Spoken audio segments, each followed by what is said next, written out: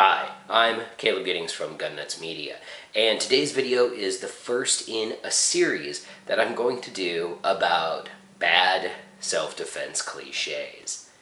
For whatever reason, the self-defense industry or community is full of terrible cliches, sayings that are repeated over and over again that people think are good advice and could in reality end up getting you in serious legal trouble or killed.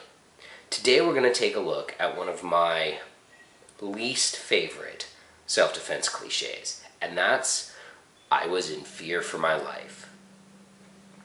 You hear this one a lot.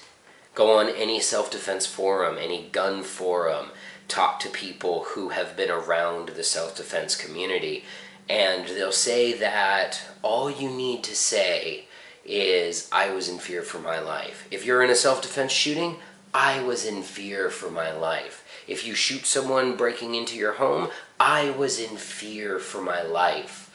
It's taken on this life where it's treated like it is some sort of magical cure-all for how to avoid legal trouble if you have to use your gun or really any sort of force in self-defense. Just say, well, officer, I was in fear for my life.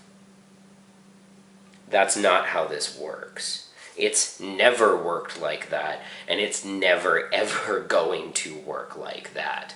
The problem with this idea of just being able to say, I was in fear for my life, being afraid doesn't legally justify you to shoot someone. It doesn't. Nowhere in any reasonable use of force policy does it just say you have to be afraid that you might get killed. I'm afraid that I might get killed every day because I live in Miami and I ride a motorcycle. I, I, I am legitimately in fear for my life sometimes. That doesn't mean I can just whip my gun out and start blasting other cars. That would be illegal, despite the fact that I am in fear for my life. So, where did this cliche come from? I don't know, honestly. I don't know. I have no idea who the first person was that said, I am in fear for my life, and used that as a justification for deadly force. My belief is that it comes from a misunderstanding of the totality of circumstances that you have to present when you're using force justifiably. So here's the idea all right? And the idea behind the saying, I was in fear for my life, kind of starts off like this. It is used as the base of a justification to employ deadly force against someone who legitimately could kill you, right? So, for deadly force to be justified, someone must have the ability, the opportunity, and the capability to kill you or to inflict grievous bodily harm on you.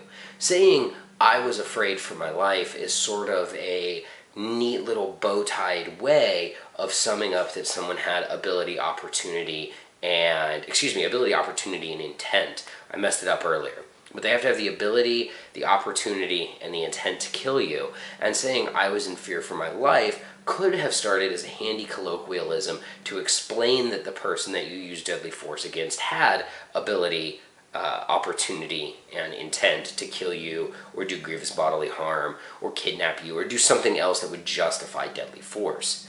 But the problem is, and I think it started around the uh, time of the Zimmerman shooting, it just sort of turned into a cliche where people on the internet would just toss out, well, he was in fear for his life, that's why he shot Martin.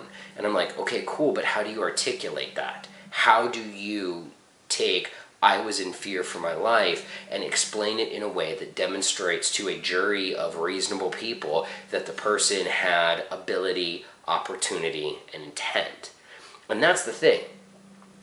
When we uh, overuse these cliches, when we make things too simple, we lose sight of the fact that a self-defense situation where you're using deadly force is a very legally complicated situation. And just because you win the gunfight or win the knife fight or the fist fight or whatever, that's really the beginning of your problems. There are tremendous social consequences and tremendous, obviously, legal consequences that come out from that. And so, if your only justification for using deadly force is, I was afraid for my life, it's going to go a lot worse for you. It's a terrible cliche, and it's a terrible cliche because it oversimplifies the very complicated reasons that you must have and that you must use to be able to justify using deadly force. Let's take the extremely politically toxic George Zimmerman shooting, all right? If all you say is I was a, is that Zimmerman was afraid for his life, it doesn't that doesn't really justify him shooting Martin.